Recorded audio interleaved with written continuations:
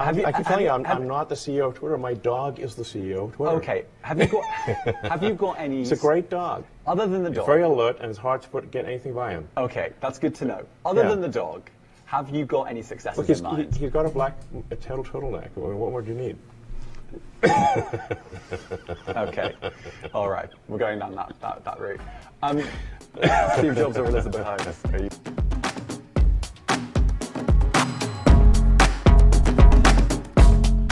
Hola, no financieros. Vamos a rematar la semana con el troll de troles.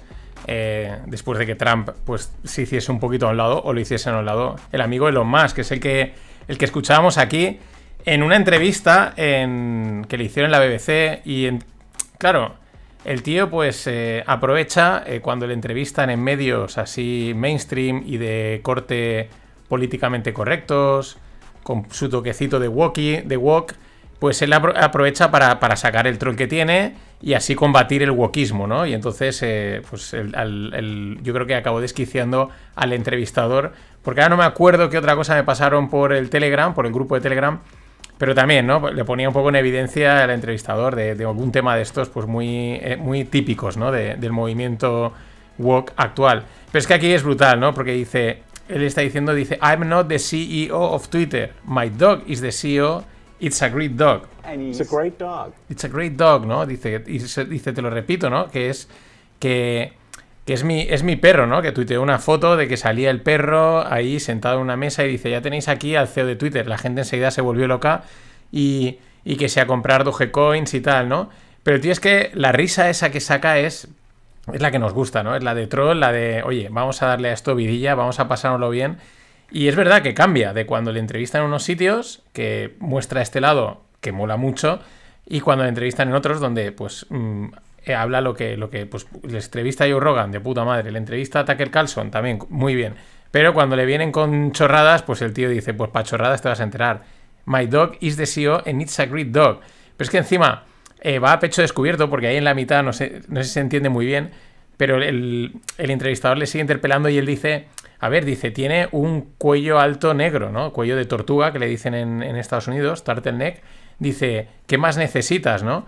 Y, lo hace como un poco también referencia a los grandes CEOs de Estados Unidos, que, de las empresas tecnológicas, ¿no? Con esa est- estética muy Steve Jobs, que el propio entrevistador le dice, oye, está haciendo una referencia a Steve Jobs o Elizabeth Holmes, que llevan que llevaban ese, ese tipo de vestimenta, porque es Elizabeth Holmes, que era la de los test de, la de esta gran estafa que. Esta, esta, startup que fue un. Vamos, un bluff absoluto, que con una gotita de sangre te hacías el, el análisis, el documental vale la pena verlo. Pero ella imitaba a Steve Jobs, ¿no? Y entonces eh, más dice, no, no, dice, me refiero más a, Elizabeth Holmes, a, Eliza- a Elizabeth Holmes, y dice, he's got a husky voice. O sea, tiene, porque tiene una voz de husky. Es que es que, ¿cómo no vamos a querer a este troll? O sea, es que si no, si, si no tuviésemos a, a- a Trump y a Elon Musk soltando de las suyas, esto sería un auténtico coñazo. Me costaría mucho más hacer los, fin, los It's a great dog. It's a great dog. Pero mientras, y como Elon Musk no para, pues lanza la competencia de ChatGPT o de la empresa dueña de ChatGPT que es OpenAI. Eh, ha lanzado eh, X.ai. Recordad que él llevaba mucho tiempo con el rollo este de. tenía registrado el dominio x.com y hablaba siempre de la super app, encima, este proyecto que parece ser que es lo que subyace de fondo. Él a esta, a esta empresa, de, a esta competencia de ChatGPT, dijo que le quiere llamar algo así como Truth GPT, ¿no? Eh, es que él no para de tirarlas, ¿no? Eh, como diciendo verdad GPT, eh, en alusión un poco a, a que ChatGPT, pues tampoco es que sea muy verdad todo lo que cuenta. Ya hemos visto que hay cosas que molan mucho, hay otras cosas que se las inventa y las rellena perfectamente, inventada absoluta, pero oye, está bien inventado y otras veces pues no da ni pie con bola, pero bueno, es que tampoco le podemos pedir, yo creo que no se le puede pedir más, pero me hace gracia, ¿no? Él ya ha sacado la competencia que recordad que él inicialmente era inversor de OpenAI. Lo mejor es que en, en- Twitter, al salir la noticia en el Wall Street Journal, Sam Altman, que es el CEO de OpenAI, eh, dice eh, concerning, ¿no? Como, ostras, es un movimiento preocupante. Tampoco sé si a lo mejor lo dice en WhatsApp o no, porque a Sam Altman aún no le tenemos eh, calado. Eh, a mí no me parece un tío muy guaso, me parece bastante serio, con lo cual creo que va en serio, ¿no? Concerning, ¿no? Porque ahora el, este a saber la que hace, a saber la que nos lía. Pero la pregunta es la que ya avanzaba antes, ¿no? ¿Conseguirá Elon integrar todo en la famosa eh, super app, esta que, que, él hablaba, este famoso x.com, ahora tiene x.ai, eh, el Twitter, etcétera? Supongo que van por ahí los tiros y él seguirá en su empeño. Mientras... It's a great dog. It's a great dog, eso que no se nos olvide. Y en su otro lado, en el lado de Tesla, pues eh, la empresa de coches, aunque la gente diga que es de otra cosa, es una empresa de coches porque produce coches, eh, sigue reduciendo los precios de, sus vehículos. Creo que es la segunda o tercera bajada que hacen en, en, poco tiempo. Y por eso ya van varias bajadas. Es interesante, lo hacen justo antes de la publicación de resultados del primer trimestre. Y alguien punteaba, digo, apuntaba, no punteaba, eh, pues se puntean las bolas en el baloncesto.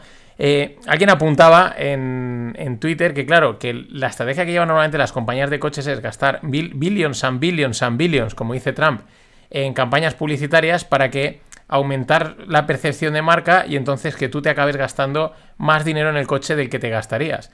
De hecho, eh, los precios de los coches es una cosa que está disparada. Hoy en día te cuesta ya cualquier coche de la marca que sea, te cuesta una auténtica pasta, ¿no? Y sin embargo apuntaban que en, en Tesla no hacen ese tipo de publicidad. Es verdad que la tienen de serie gracias a Elon, porque no, no, tienen que hacer casi publicidad para que se hable de ellos, es lo bueno, pero como que a lo mejor baja los precios para intentar ajustar a lo que la gente está dispuesta a pagar. En fin, movimiento interesante. It's a great dog. It's a great dog. A mí me molaría también que pusiese, no sé, un dog, un monkey o algo así también en Tesla. No lo haga solo en Twitter, Aldo, en el resto de compañías para, para darle coherencia, solidez al argumento, ¿no? A la troleada absoluta. Y eh, Bernard, Ar Bernard, Arnault, que es el, el, de LVMH, la empresa francesa del lujo que tiene Hermès, Moet Chandon, etc. Eh, creo que también Don Periñón lo tienen. Eh, bueno, pues consolida su posición de persona más rica del mundo. El número 2 es Elon Musk. Y el titular de esto sería El lujo lo resiste todo. Porque es verdad que desde que empezó, desde la crisis del 2008, pues no ha parado de, de, consolidarse, ¿no? De aumentar incluso, pues al final es marca, ¿no? Y, y ese es un ejemplo de, de, lo que cuesta, lo importante que es desarrollar marca, pero cuando consigues desarrollar marca y estatus, eh, pues eso se traduce en pingües beneficios. Y este es, para mí, es un claro ejemplo. Que, y, no y no tiene pinta de que se vayan a bajar del carro porque son unas marcas difíciles de, de matir en el término, en, en el campo del lujo y de la marca.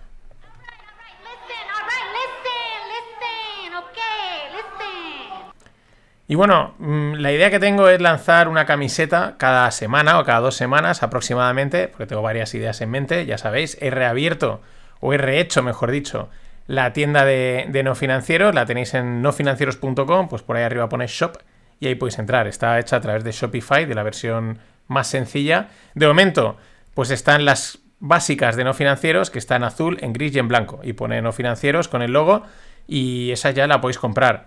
Mm, la semana que viene, pues lanzaré la primera. La primera de, de unas cuantas. Para. Pues bueno, pues para darle vidilla. Así que, nada. Mmm, entráis, nofinancieros.com, shop, y desde ahí eh, podéis comprar. Os agradecería si lo hace uno, así puedo también detectar. Yo he hecho ya pruebas, pero si hay algún problemilla, si hay alguna historia, pues no me vendría nada mal. Gracias de antemano.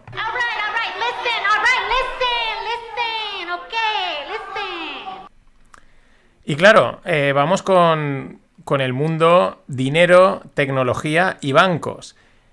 Probablemente te hayas enterado, esta semana salía la noticia de que Apple Card, de, perdón, de que Apple lanzaba pues una cuenta remunerada para los, para los que tienen la Apple Card, que es una tarjeta de crédito de Apple, que yo creo que en España no se ha llegado a salir, si se ha llegado a cuajar, pero en Estados Unidos parece ser que tiene bastante más tirón.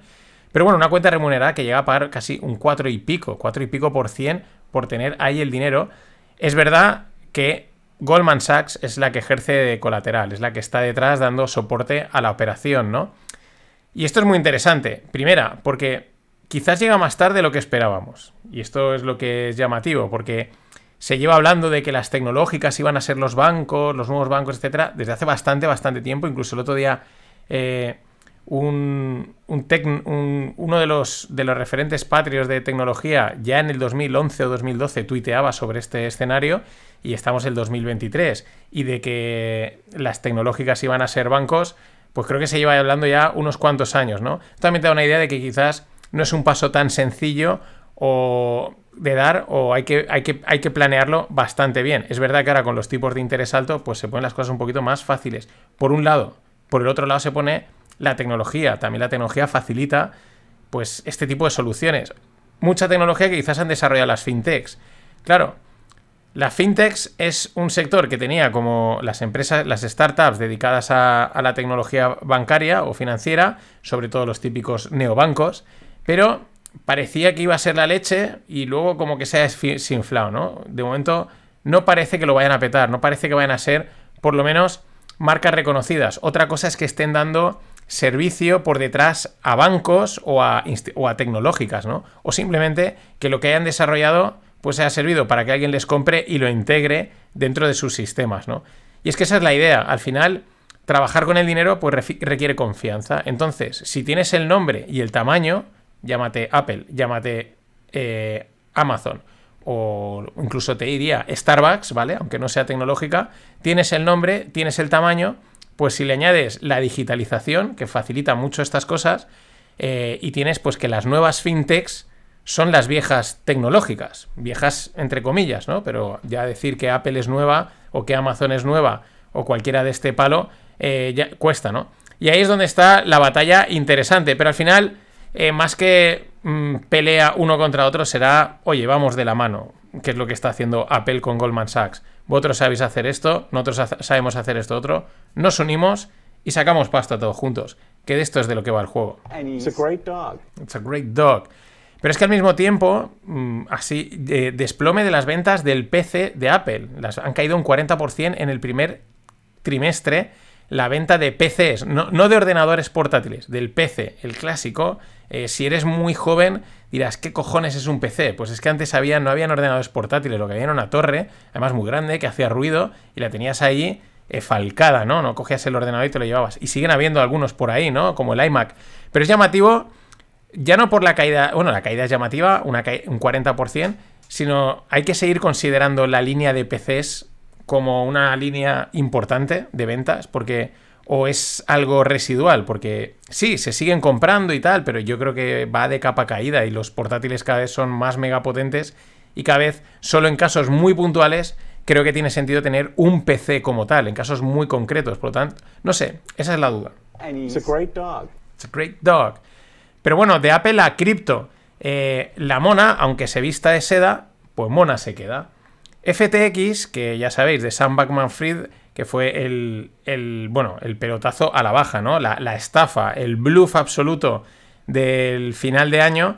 Y luego, pues todo lo que vino con la novia y todas estas chorradas, que bueno, que era, es que era acojonante, era, era la verdad, parecía el, camarote de los hermanos Marx, eh, cripto hecho realidad, ¿no?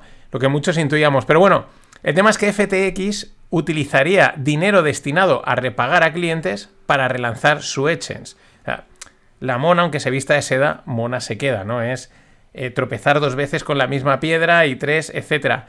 Este es un clásico, además un clásico muchas veces en el mundo de la inversión y, del dinero, ¿no? Es, no, no, confía en mí, que esta, esta es la buena. Ahora, ahora no vamos a cometer los errores anteriores. Ahora hemos madurado, bla, bla, bla. De verdad, créeme que sí. Y lo peor es que la gente se lo acaba creyendo. Un dog, un perro, ya te digo que no se la creería. Pero bueno, esta noticia también relacionada a la siguiente con FTX es buenísima. O sea, Shaq, Shaquille O'Neal, el mítico pivot de Los Ángeles Lakers, de Orlando Magic, entre otros, y de los Miami Heat, eh, pues no recepcionaba, o sea, no recibía la demanda, porque los inversores de FTX le interponían también una demanda por estar involucrado con FTX, no como, como inversor, sino como pues en la parte publicitaria o alguna cosa de estas de relaciones que tendría, ¿no? Él decía que él simplemente era un representante de FTX, ¿no? Pero al final, eh, de alguna manera se ha ayudado a promocionar y a divulgar el, scam que era, ¿no? Pero bueno, que el tío se escondía, que el tío no, miraba el correo, en pocas palabras, ¿no? Cuando llamaban a la puerta, eh, miraba por el reojo y decía, uy, yo no estoy, di que no estoy, ¿no? Y así, así, evitando recibir, eh, recepcionar la, la demanda de los inversores de FTX. Hasta tal punto que los inversores de FTX les pidieron a su, o sea, pidieron al, juez notificarle por Twitter o Instagram, ¿vale? Porque dicen, igual por aquí cuela, el tío no se entera, entra, recibe, lee el correo y, que eso contase como notificación, pero se les denegó. De todas maneras, finalmente, eh, pues ha recibido la demanda por parte de los inversores de FTX. Pues que es, la verdad es que de FTX, por favor, Netflix, dejaos de hacer series de Ana Bolena negra y cosas así, o de la, princesa Cleopatra negra, que no tiene ningún sentido, y meterle caña a esto, que aquí hay, aquí hay juego para, las para temporadas y temporadas, una mezcla entre el camarote de los hermanos Marx y Succession. Pero claro, eh, desde FTX y desde este tipo de startups mm, que pues venden el futuro y millones y billions, pues por ejemplo, a Shaq pues se la colaron, a Giselle Butchen se la colaron, a Brady se la, se la colaron y a otros tantos se la colaron, ¿no? Los convencieron para que hiciesen publicidad, para que invirtiesen, etc. Pero no se la colaron a Taylor Swift. No, a Taylor Swift no se la colaron porque su padre era un renombrado banquero de inversión y cuando tenía que invertir Taylor Swift lanzó la pregunta, evidentemente asesorada por su padre, eh, la, pregunta, eh, bueno, o las preguntas correctas, ¿no? Entonces, claro, eh, ¿qué preguntó? Porque estaban, estaban a punto de firmar un acuerdo, Taylor Swift, de 100 millones de, de sponsorship, de, de publicidad con FTX, ¿no? Que supongo que gran parte sería, pues te lo pagamos con el FTX Coin o lo que sea, ¿no? Y entonces la pregunta que hizo Taylor Swift o su equipo fue, ¿puedes asegurarme eh, o me estás diciendo que esto no son securities eh, sin registrar? Es decir, que no son, o sea, no son acciones, ¿no? No, son, no es algo oficial, que son los tokens, y ya está, ya no hubo que hacer más preguntas, ¿no? O sea, eh, se acabó, ya está, no, no nos interesa. Esto es, esto no, no va a ningún lado. Lo mejor es que entra Elon Musk en Twitter a comentar la jugada y dice, claro, es que el padre de, el padre de Taylor es un, o sea, de, Taylor Swift, pues es un renombrado banquero y de inversión y sabía a lo que se ceñía. Y bueno, ya para cerrar, ayer cerraba con Cathy Booth, ¿eh? Crazy Cathy, Cathy on Steroids, nuestra amiga Cathy Booth, y al final es Cathy Booth, y, pero hoy cierro con, otro de los grandes, que no se nos olvide, otro de los grandes charlatanes y vendedores que, han, eh, que emergieron en el momento de la pandemia y pospandemia. Que no se nos olvide, Chamaz Palijapitilla, que es un tech investor, uno de estos de Silicon Valley, que pues con su startup lo petó y luego ha ido de gurú financiero. También es verdad que lo han, apura, lo han aupado a gurú y lo han alabado pues todos los Silicon Boys, tanto patrios como de, todo el mundo, ¿no? ¡Guau! Es que este es un genio tal a legua se le olía que era un vendehumos, sobre todo en cuanto habla de inversión. Recordemos eh, cómo recomendaba Tesla que había que entrar y luego cuando le he preguntado, no, si yo la vendí hace ya unos meses, ¿no? Pero él ya la estaba recomendando pues para colocarla. Y, de esas, varias, ¿no? La última, pues una entrevista que le hacen y hay un párrafo que es bla bla bla bla bla bla bla bla bla bla bla bla bla bla bla bla bla bla para es una de una manera muy bien editada, eh, muy bien vendida para decir que les han enganchado con la subida de tipos, ¿no? En pocas palabras. ¿Qué? Pues que con los eh, tipos de interés al 0%, pues claro, ellos eh, pidieron, en pocas palabras, pidieron mucha pasta, vieron que esto era la leche, etcétera, y claro, luego, pues lo mismo que les ha pasado a Silicon Bank, Silicon Valley Bank les, le ha pasado a él, ¿no? Es, es interesante, dice, dice, yo tengo que recalibrar mis modelos originales eh, y cuestionar los principios de apalancamiento, ¿no? En fin, le da ahí mucha, en fin, mucha, mucha manteca para al final decir, me engancharon como han enganchado a todos, no soy tan genio, aunque el tío pues ha hecho mucha pasta. A lo mejor es que aún ves que lo siguen promocionando. En fin, eso es todo. Buena semana. Ladies and gentlemen, the weekend.